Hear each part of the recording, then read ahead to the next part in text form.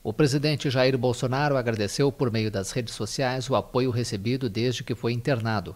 A Secretaria de Comunicação Social do Ministério das Comunicações informou que Bolsonaro foi diagnosticado com um quadro de obstrução intestinal.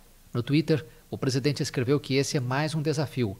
Segundo Bolsonaro, seu estado de saúde é consequência do atentado cometido por um antigo filiado do PSOL. O presidente se refere ao autor do ataque com faca contra ele ocorrido em 2018. Adélio Bispo de Oliveira, que está preso pelo crime, já havia sido filiado ao PSOL, mas um inquérito da Polícia Federal aponta que Adélio agiu sozinho. Bolsonaro diz que foi um atentado não só contra ele, mas contra a democracia. O presidente escreveu que estará de volta em breve.